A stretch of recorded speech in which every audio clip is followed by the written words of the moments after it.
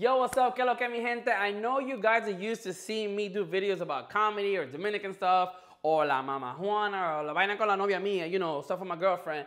But today I'm gonna do something a little bit different. Why? Because a brand new iPhone X came out and a lot of people are having problems putting their old iPhone restore into the brand new iPhone X. So if this video was helpful, make sure you hit that like, subscribe, and comment below.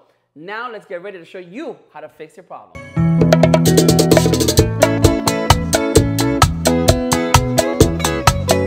Welcome back to my channel. Like I said, well, if you're anything like me, you probably got the brand new iPhone X or iPhone 10 or iPhone 5 plus 5. What happened to iPhone 9? Okay, okay, okay, we're getting off topic. But if you did get the brand new iPhone X, either space gray or silver, and you're trying to restore your old iTunes backup from your old iPhone to your new one, you're probably encountering a corruption error or it's saying that it can't restore it to the new device because it's not compatible. All right, I'm gonna show you guys how to fix it. It's pretty simple, but complicated at the same time.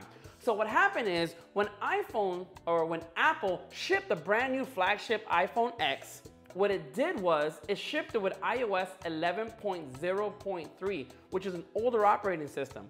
And if you're anything like me, you probably have your phone up to date, your old one at least, at 11.1.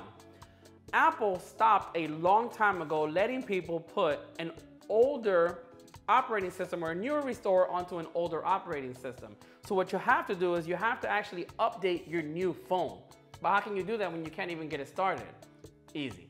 So once you start up your brand new iPhone, you're gonna do the same process like you always do. But when it asks you, do you wanna restore? Just do set up new phone. Go through the same process, finish it off. After you're done setting it up, make sure it's connected to Wi-Fi. Click on settings, click on general, and then software update. You're gonna see it's gonna say that there's, an op there's a software update available. Download the update and let it go through its whole process. So after it's done with the update and you get back to your main screen, you're gonna click on settings, you're gonna click on general, then you're gonna click on erase all the way at the bottom. And you want to, or reset or restore or something like that, all the way at the bottom. And you're gonna do is erase all content and settings. And you're like, Don Jose, why would I do all this to then erase it again? Why? So that it's now a fresh factory phone with an updated operating system.